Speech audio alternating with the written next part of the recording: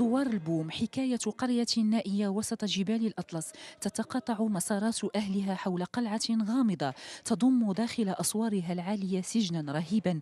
قيل لأهل القرية إن معتقليه ملحدون وأعداء ساعون إلى خراب الوطن. لكن الأهالي الذين عملوا حراسا ومكلفين بدفن موت المعتقل سيصدمون بحقيقة القلعة التي ضمت بعض أبنائهم المفقودين.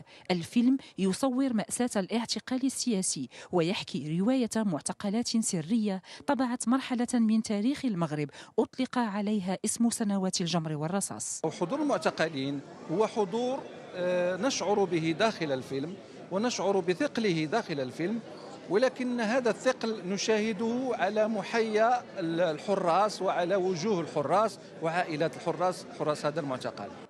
تزممارت أقدس درب مولاي علي الشريف. سجون سرية ضمت معارضين للنظام قبل أن تكشف حقيقتها منظمات حقوقية ويختار المغرب طي صفحة ماضيها الأسود بتأسيس هيئة للإنصاف والمصالحة ورد الاعتبار لضحاياها. ودوار البوم الذي حظي بدعم من المجلس الوطني لحقوق الإنسان. يسعى أيضا إلى حفظ الذاكرة من خلال رصد معاناة أدخلت الجميع أهالي المعتقلين وحراس الزنازين وجيران المعتقل داخل سجن كبير. لا صوت يعلو فيه على صوت الظلم ونعيق البوم. الكبران حماد ما هو نموذج من ذاك لي طورسيونير دوك الناس اللي كانوا يعني كي هذاك.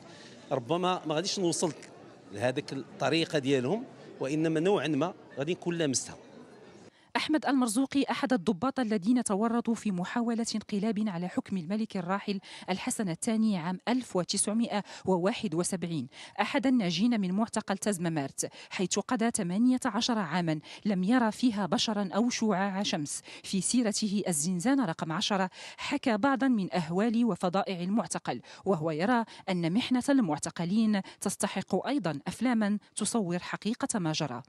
أنا أرى أن كل شيء يتعلق بتزمامارت سواء كان مسرح أو قصة أو أي شيء من هذا القبيل فهو نحبذه ونثمنه ولكن الذي يحز في القلب هو أن هذا الفيلم يعني قفز على معاناة الضحايا.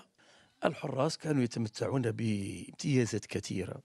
وإذا استثنينا ثلاثة أشخاص نحن مدينون لهم بكل شيء فالكل كان جلاد من الطراز الرفيع. حين تخيم رهبة وغموض المعتقل وما تتسرب منه من حكايات تعذيب وبشاعة على سكان الدوار الذين تحولوا لحراس زنازن لسجانين ومسجونين ولحفار قبور. دوار البوم حكاية قلعة غامضة شكلت فترة سوداء من تاريخ المغرب قبل أن تحاول السينما كشف بعد أوراقها. فاطمة بوغنبور الحرة. الرباط.